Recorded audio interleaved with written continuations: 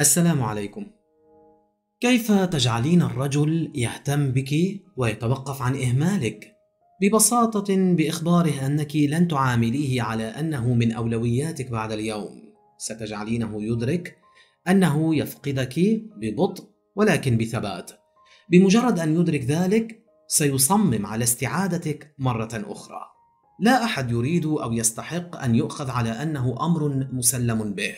لذلك أنا شخصيا أشعر بالإحباط عندما يفعل شريكك هذا بك. ترين أنه في الآونة الأخيرة كان يعاملك كخيار ثان وكشبكة أمان، وأصبح متأكدا من أنك لن تذهبي إلى أي مكان بغض النظر عما يفعله. ومع ذلك فإن الأمور بينكما لم تكن دائما على هذا النحو. البداية دائما مثالية. لكن مع مرور الوقت تنتهي مرحلة شهر العسل وتتكشف الصورة بوضوح فترينه قد بدأ يفقد الاهتمام بك تدريجيا بالطبع كل هذا سيجعلك تشعرين بأنك غير محبوبة حقا وهذا يدفعك للشك في قيمتك الذاتية تتساءلين هل وجد حبيبة غيري أم أنه لم يحبني من الأساس؟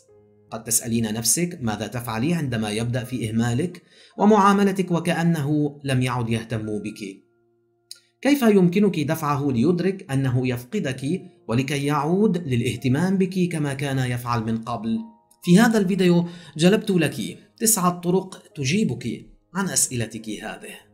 قبل أن أكشفها لك لا تنسي الضغط على زر الإعجاب والاشتراك في القناة مع تفعيل زر التنبيهات ومشاركة رابط الفيديو مع الأصدقاء. وكتابة التعليقات فهي ممتعة لي وللأصدقاء الآخرين. هيا بنا. حسنا كما أخبرتك في هذا الفيديو جلبت لك تسعة طرق لكي تجعل الرجل يعود للاهتمام بك وربما يأتيك زحفا. جربيها لفتح ذهنه وجعله يفهم فداحة ما يفعل. أظهري له أن كلاكما يستحق القتال من أجله. الطريقة الأولى لا تهتمي به كثيرا. عندما تتساءلي عن كيفية جعل الرجل يدرك أنه يفقدك فإن الإجابة هي إبقائه على مسافة منك. توقفي عن كونك ممسحة له. أنا لا أقول أنه يجب عليك استبعاده تماما من حياتك، لكن يجب على الأقل محاولة الابتعاد عنه لبعض الوقت. لا تسأليه أين كان أو ماذا كان يفعل. لا تسأليه عن أصدقائه أو عن خططه ولا تجلسي منتظرة منه أن يدعوك للقاء أو موعد وكأنك لا تملكين شيئا آخر تفعلينه. امنحيه المعاملة الصامتة. لا تتحدثي كثيرا عما يحدث في حياتك أيضا، بل قللي من نشاطك على وسائل التواصل الاجتماعي حتى لا يتمكن من تتبع ما كنت تفعلينه مؤخرا. استخدمي هذا الوقت للعمل على نفسك ولإنجاز الأشياء التي تحبينها. دعيه يفعل ما يشاء. ولا تعترضي عليه. إذا كان يعتني بك فمن المحتمل أن يشعر بالقلق لأنك لا تتفاعلين مع الأشياء كما كنت تفعلين من قبل وسوف يتساءل لماذا؟ سيرى أن شيئا ما معطل بشكل واضح وسيبذل قصارى جهده للوصول إلى جوهر التغيير. لا تتفاجئي إذا اختبرك بفعل شيء عن قصد فقط ليرى ردة فعلك. إذا كنت تريدين أن ينجح هذا فعليك أن تكوني مثابرة لأنه إذا نجح وإذا تمكنت من إيقاظه وجعله يدرك أنه يفقدك فستكونين سعيدة لأنك تمكنت من القيام بهذه المهمة. النصيحة الثانية توقفي عن الرد على مكالماته ورسائله النصية.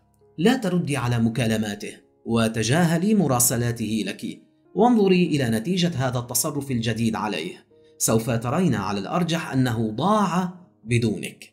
سيبدأ في القلق بشأن الكثير من الأشياء. لماذا لست متاحة؟ هل تقابلين شخصا آخر؟ ماذا يحدث هنا؟ سوف يلمح كيف ستبدو حياته بدونك. أؤكد لك أنه لن يعجبه ذلك وسرعان ما سيعود إلى طبيعته القديمة. أما إذا كنت لا تستطيعين حقا فعل هذا وتشعرين بالحاجة إلى مراسلته أو معاودة الاتصال به فافعلي ذلك. لكن انتظري قليلا وحاولي تأخير الرد أو أخذ فاصل زمني أكبر من المعتاد في فعل هذا. وهذا سيجعله يتساءل أيضا عما يحدث. الحيلة الثالثة لا تدعيه يعتمد عليك. إن أول ما يجب عليك فعله هو التوقف عن السماح له بالاعتماد عليك بغض النظر عن السبب. حسنا هذا تصرف قاس للغاية، لكن إذا كنت تريدين النجاح فعليك أن تكوني بلا رحمة. توقفي عن فعل الأشياء له، توقفي عن جعل حياته أسهل. بدلا من ذلك اعتني بنفسك. أعيدي توجيه كل الطاقة التي كنت تهدرينها عليه وابدأي في التركيز على حياتك الخاصة. حاولي هذه المرة ألا تهتمي باحتياجاته وتذكري أنك تحاولين تعليمه درسا. بمجرد أن يرى أنك تعتني بنفسك بدلا من القيام بكل هذه الأشياء من أجله فسوف يدرك مدى اعتماده عليك وسيبدأ في مطاردتك من جديد. الحيلة الرابعة عليك أن تتعلمي قول لا.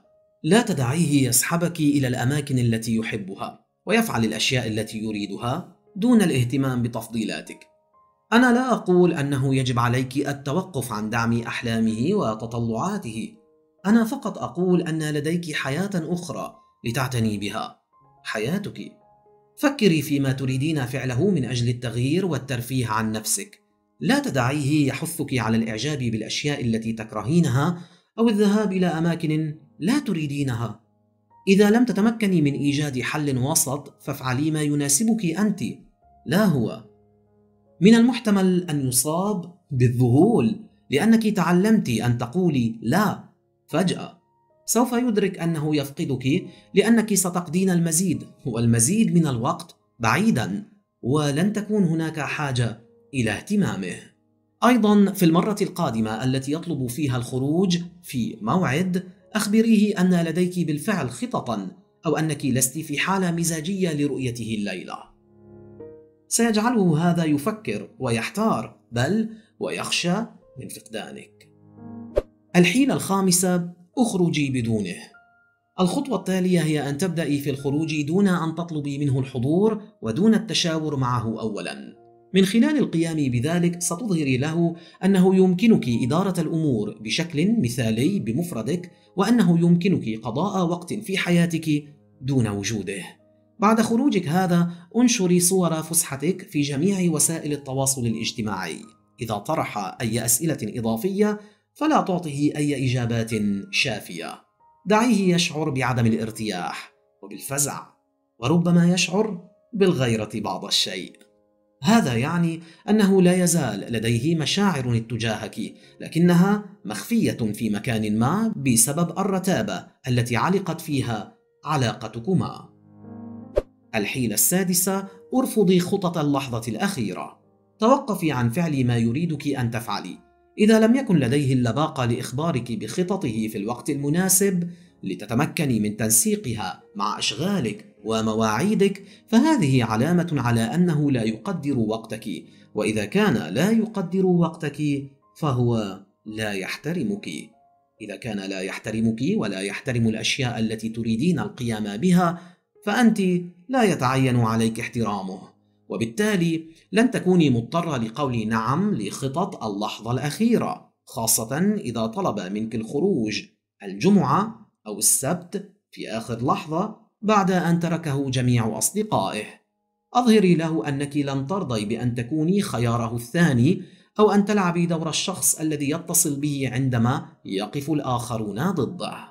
صدقيني إنها الطريقة الوحيدة التي سيأخذك بها على محمل الجد.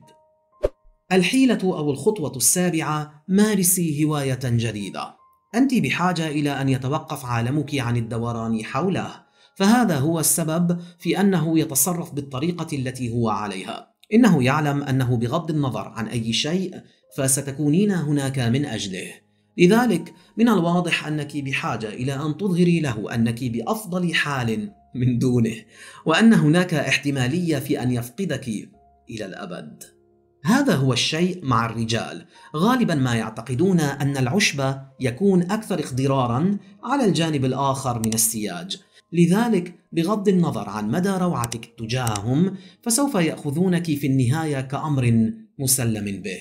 لذا سيكون من المفيد تذكيره من وقت لآخر بأنه سيفقد انتباهك إذا توقف عن تقديرك. أفضل طريقة للقيام بذلك هي أن تبدأي بممارسة هواية جديدة، شيء لا يشارك فيه. بهذه الطريقة ستثري حياتك الاجتماعية، ستخرجي مع أشخاص يحبون نفس الأشياء التي تحبينها.